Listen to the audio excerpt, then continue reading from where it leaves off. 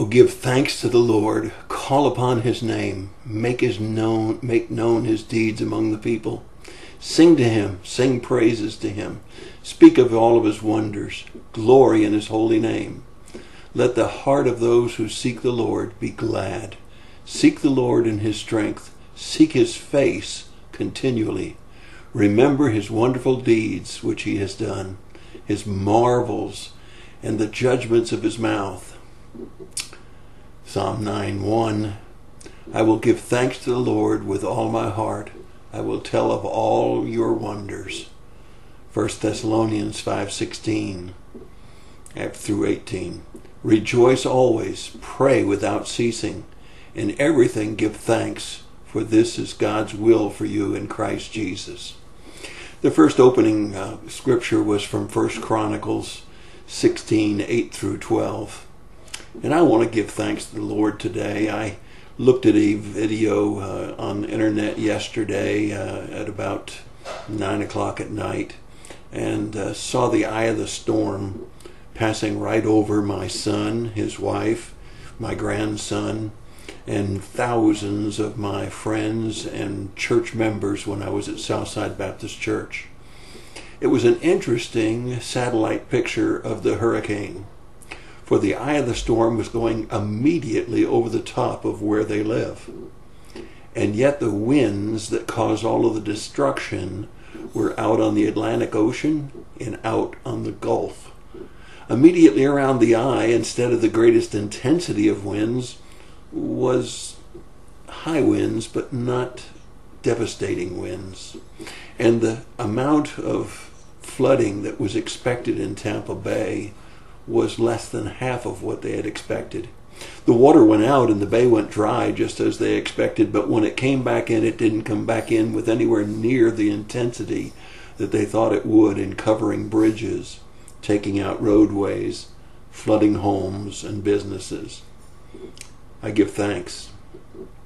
I believe the hand of God was cupped right over the top of the greater Tampa Bay area.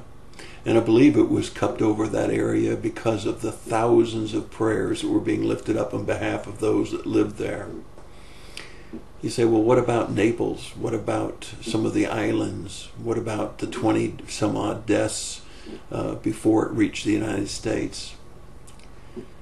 I don't know how to explain why God allowed devastation in some of the areas of Naples and Marco Island and the Keys and certainly some of the islands off of America.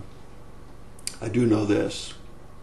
I prayed for the Tampa Bay area even more diligently than I prayed for those other locations while I prayed for all. Considering the size of the storm, the intensity of the storm, and the possible devastation, there was certainly much less than what could have been. Five died in Florida. That's a lot of deaths. That's a lot of heartache and that's a lot of pain. But I still give thanks to the Lord for having protected so many people, keeping the damage down so minimal. It won't be minimal to those that lost their homes, and it won't be minimal to those that lost loved ones.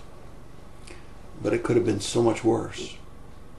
And for me personally, I am so thankful for the protection of my family, my former church members, and all of those in the Tampa Bay area that could have been killed, that could have lost all that they have.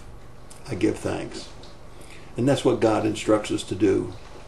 Paul, when he wrote to 1 Thessalonians 5 16 through 18, says, Rejoice always, pray without ceasing, in everything give thanks, for this is God's will for you in Christ Jesus. First Chronicles says that I give thanks and I make his deeds known among the people.